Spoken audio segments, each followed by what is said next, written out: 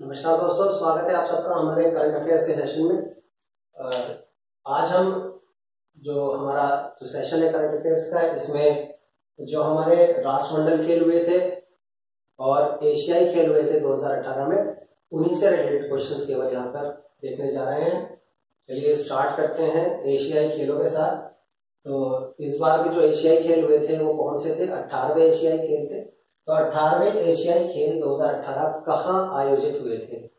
Option है आपके पास A Bharat, B Japan, C Indonesia तो इसका सही जवाब है सी इंडोनेशिया। तो इंडोनेशिया के जकार्ता में हमारे 2018 के एशियाई खेल आयोजित हुए। अगला क्वेश्चन है 2022 के एशियाई खेल कहाँ आयोजित होंगे?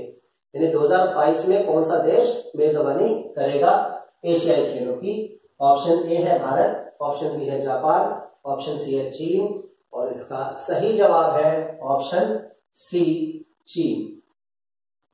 तो चीन जो है वो 2022 में जो एशियाई खेल होंगे, यानी जो 19वें एशियाई खेल होंगे, उनका आयोजन कहाँ होगा? चीन में होगा।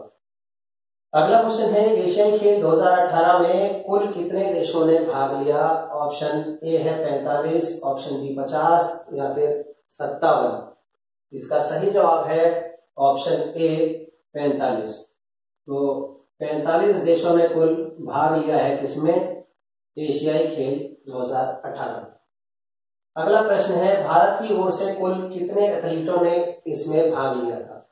यानी जो 2018 के एशियाई खेल हुए थे, उसमें भारत की तरफ़ से कुल कितने एथलीटों ने भाग लिया था? ऑप्शन ए है पाँच ऑप्शन बी है पाँच ऑप्शन सी है सात सौ बावन इसका सही जवाब होगा ऑप्शन बी पाँच सौ बहत्तर। तो पाँच सौ बहत्तर जो एथलीट थे, भारत के शामिल हुए थे एशियाई खेल दो हज़ार अठारह।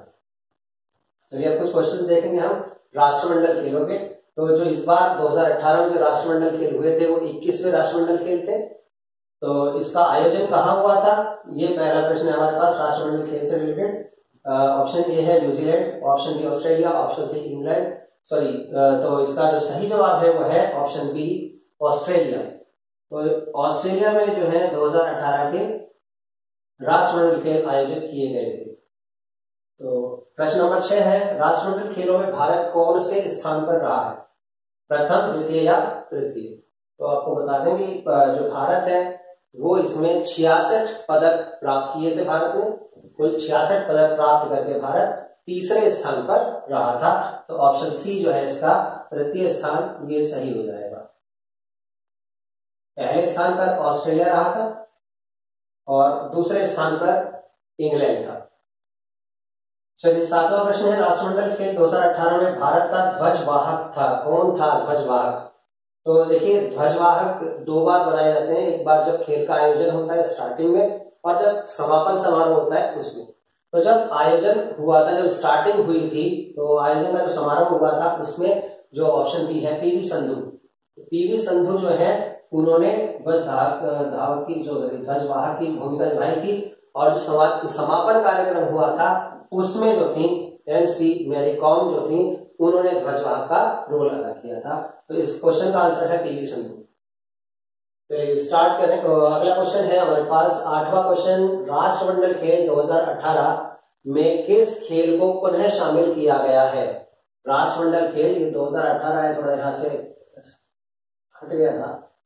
राष्ट्रमंडल खेल 2018 में किस खेल को पुनः शामिल किया गया है? मतलब पहले उस खेल को हटा दिया गया था, लेकिन 2018 से वापस उस खेल को शामिल कर लिया गया है।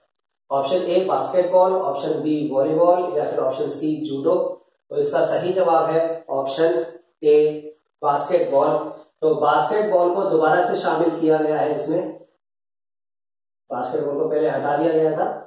पिछली बार यानी कि जो बीसवें राष्ट्रमंडल खेले हुए थे, उसमें बास्केटबॉल शामिल नहीं था। इक्कीसवें में दोबारा से शामिल किया गया है इसको।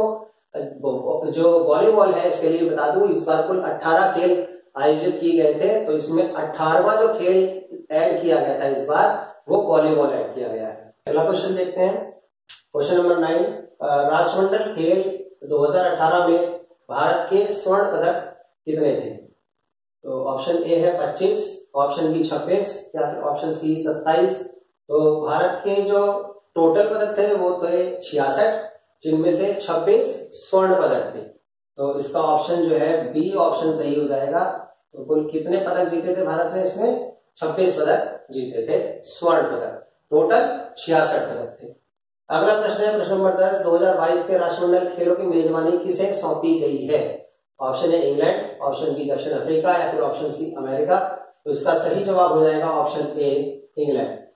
यानी जो बाईसवें राष्ट्रमंडल खेल होंगे 2022 में होंगे और उसकी मेजबानी इंग्लैंड करेगा। अगला प्रश्न है, प्रश्न नंबर ग्यारह 2018 राष्ट्रमंडल खेलों का शुभंकर था। ऑप्शन ए, अतुंग ऑप्शन बी काका, ऑप्शन सी बोरोबी।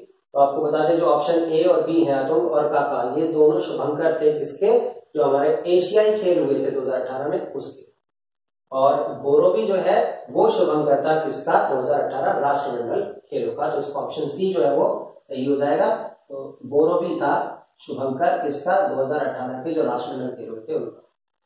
अगला प्रश्न है, प्रश्न नंबर बारह, राष्ट्रमंडल खेल महासंघ की अध्यक्ष कौन है? तो option A Louise Martin, option B Taylor Ruck, option C Flora Duffy. तो इसका सही जवाब है ऑप्शन ए लुइस मार्टिन। तो लुइस मार्टिन जो है वो राष्ट्रमंडल खेल की महासंघ है फ़िलहाल। का आखिरी क्वेश्चन है क्वेश्चन नंबर थर्टीन एशियाई खेल 2018 के उद्घाटन समारोह में भारत की अगुवाई किसने की? Option A Brijbhushan Sharan, option B Neeraj Chopra, option C Mirabai Chanu तो जो भाला फेंक के खिलाड़ी थे, नीरज चोपड़ा, उन्होंने भारत की अगुवाई की थी उद्घाटन समारोह में और उनके पीछे जो चल रहे थे वो थे ब्रजभूषण शरण। तो इसका आंसर जो है वो होगा ऑप्शन बी जो है हमारा नीरज चोपड़ा। तो जो अगुवाई करी थी भारतीय दल की वो किसने करी थी? नीरज चोपड़ा ने की थी, जो कि भाला फेंक के खिलाड़ी। तो ये हमारे आज के क्वेश्चन थे, जो हमारे एशियाई खेल और राष्ट्रमंडल खेलों से संबंधित थे। तो इनसे इंपॉर्टेंट जितने भी क्वेश्चन हो सकते थे, वो मैंने यहाँ पर ला दिए हैं। हमारा अगला वीडियो जो होगा, वो फीफा वर्ल्ड कप के ऊपर होगा।